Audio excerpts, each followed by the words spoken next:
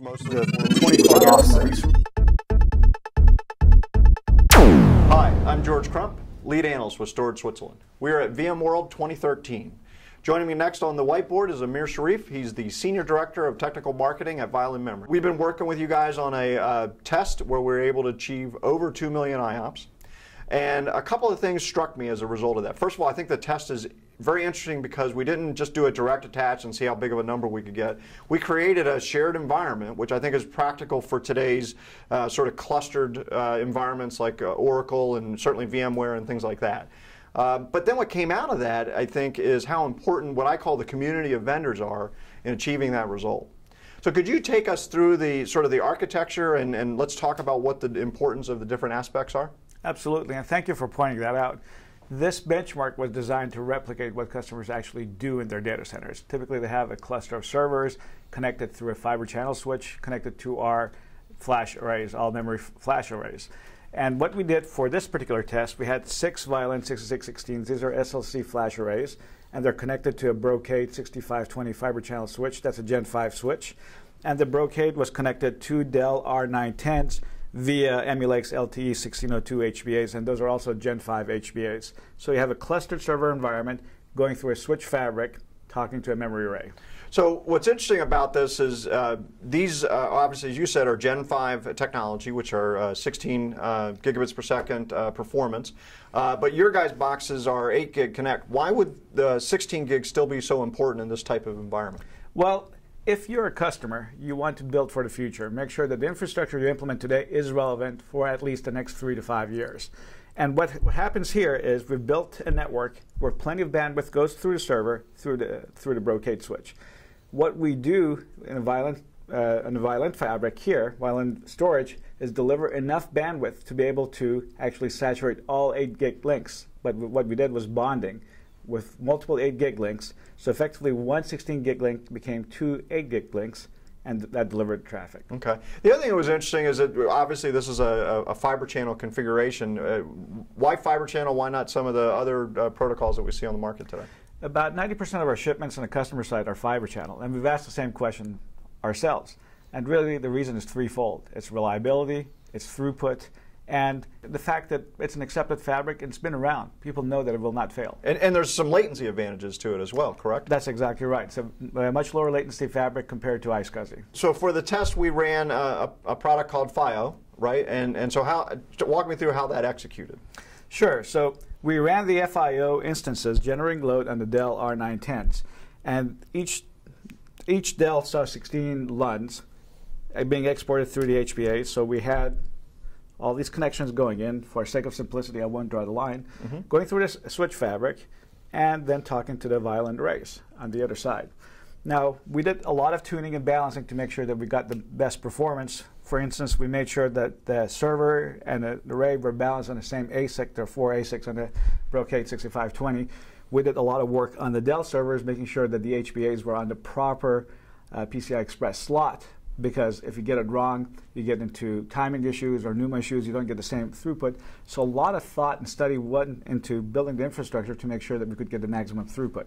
But basically, what you had is a server talking to, through a switch network, talking to our storage arrays.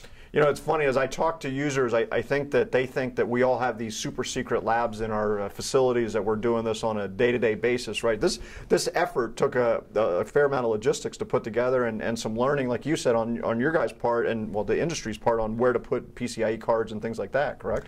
Getting the utmost performance takes a village. It takes great partners like Emulex, Dell, and Brocade, and they're working with us to teach us what their architectures were and help us actually tune the fabric.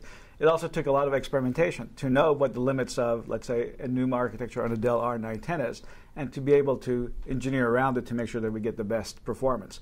So it does take a lot of tinkering, but all those learning lessons can then be documented and handed off to the customer so they get the best performance out of a similar architecture. So they won't have to tinker. In other words, we exactly. did the tinkering for them. A reference architecture will go out and they can build exactly the same thing so their applications run faster, the business executes better, and they do so at a lower cost. Right. So let's talk about key takeaways here. I think we've really nailed the the uh, the importance of the village, right? Because what I get really worried about in the industry is I see people, you know, kind of get very focused on putting really fast storage, which obviously is important for you guys, but that storage is only going to go as fast as the connections in between it, right? So this village is really important. Let's also talk about uh, the relevance of two million plus IOPS to a guy that only needs 500,000. What, what does he get out of this? Okay, so let's go with your first question. Mm-hmm. Why do we need this fabric? What's mm-hmm. the relevance of this fabric? So if you have very fast storage and you don't have the proper infrastructure, your bottleneck becomes the network. Now, what we saw with the Brocade 6520 Gen 5 switches was a lot of throughput, a lot of fabric, and that allowed it, that traffic from our very fast arrays, each one of them, our marketing specs uh, basically say each one of them can generate 4 gigabytes of data per second. For this particular benchmark, we exceeded that. But imagine 4 gigabytes plus coming from each one of these. Well, you need to have the infrastructure to pass the traffic through. And then you have to be able to put it inside the servers. And that's where the Emulex LPe 1602 HBAs came in, and the capabilities of the Dell R910 to be able to absorb it. So it's not just a fast storage or a fast switch. You have to have the infrastructure through and through been able to handle that traffic to be able to process data as fast as possible. Now let's go to your second question, yep. which is why are the results important? Well, the peak performance that we saw was 2.33 million IOPS at 8K packets, uh, representing 17.5 gigabytes a second over the entire array. And you say, wow, that's an impressive number. What does that mean? Well, what it means is if you have a very large transactional database mm-hmm. or a very large random I/O type of environment, let's say VDI. Okay. What this infrastructure does is enable you to run your business and run it at the speed of memory, at the speed of actuality. Right. Basically, keep up. What we're demoing in one of our customer sites is a 2000 uh, VDI instance where we're also having a constant boot storm. Now, you typically don't see boot storms running inside the business. But a boot storm generates a lot of I/O. It slows down the servers, slows down the network, slows down the arrays. But with a constant boot storm, we have 2,000 VDI instances running, and the latency as measured from inside the guest is one millisecond. Mm-hmm. What we're showing is that the cost of a 2,000 seat VDI instance is actually lower than 2,000 dedicated desktops, and it performs better. So better performance, lower cost. Better performance, lower cost. These results are relevant because they show that the business can be accelerated and the cost can be dropped. Right. All right. Well, that's great. I think I think the key thing here, and we'll we'll be detailing this, or we detail this in the report, uh, and talk about the uh, the different scenarios. I know we have some tests where we just have one unit up there, for example, and things like that. So I think there's a lot of value across the board for everybody.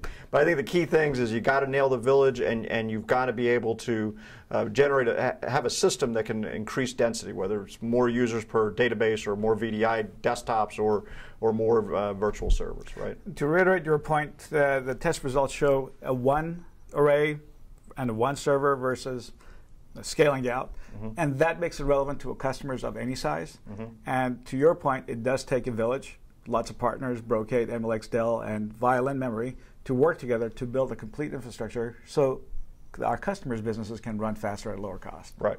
All right. Well, thanks, Amir. Thank you. George Crump, lead analyst with Storage Switzerland. Thanks for tuning in.